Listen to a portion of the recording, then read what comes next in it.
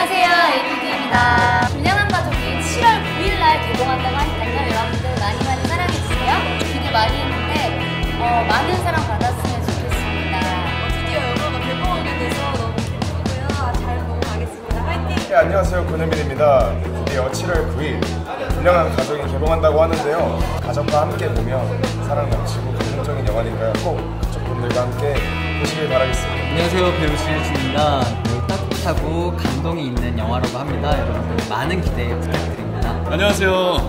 어, 배우 겸 이제는 가수 일민입니다. 불량한 가족, 참 따뜻한 가족 영화니까 여러분 많이들 시청해 주시고요.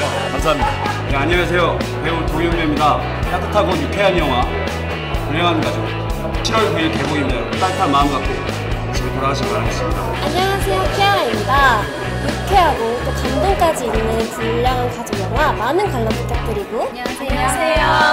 저는 지혜 역을 맡은 이가원입니다. 저는 유아 역을 맡은 유아입니다.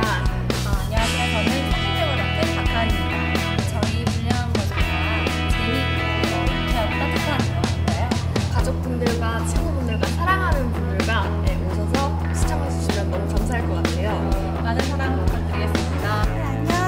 서지입니다. 불량한 가족에서 어, 남이 역할을 맡은 어, 서지희라고 하는데요. 저희 열심히 찍었으니까 열심히 같이 봐주시고 행복한 시간 보내셨으면 좋겠어요.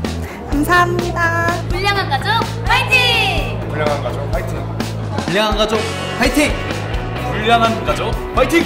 불량한 가족 화이팅! 불량한 가족 화이팅! 불량한 가족 화이팅! 불량한 가족 화이팅!